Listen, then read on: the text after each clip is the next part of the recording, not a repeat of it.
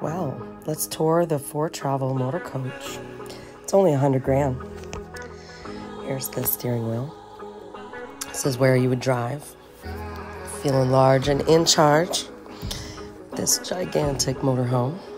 Now let's look at the inside. Here is the stackable washer dryer.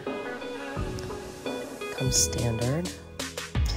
All these cupboards have cedar lined um, insides and carpeted shelves. They click in really well so that nothing's gonna fall out when you're driving down the road. Carpeted shelves.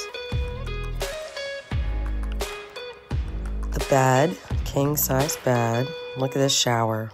Now, plenty of room in here. You're not gonna hit your head. There's plenty of room to stretch your arms out. Glass shower door. Beautiful marble countertops. Oh, here's the, another couch, recliner. Oh, and another couch. Put your feet up. Put your feet up. Watch the game. We got a full-size refrigerator for anything you need to munch on. Cook some dinner. Look at that. You've got a lot of storage space here. Don't feel like you're not going to have enough room. A whole dishwasher under there. Microwave. Slide out drawers took me a second. They're pretty heavy.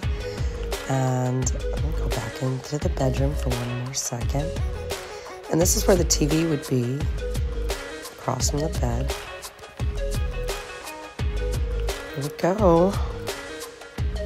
This is the tour of the Foretravel Motor Coach.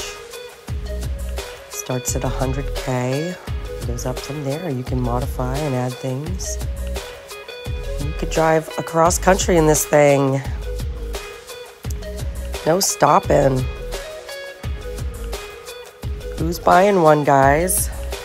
A TV for the outside with your outdoor kitchen. And it's got everything you need. I don't know if there's anything that you would need. You have everything with you. This is four plans. Thanks for stopping in, guys. Please subscribe.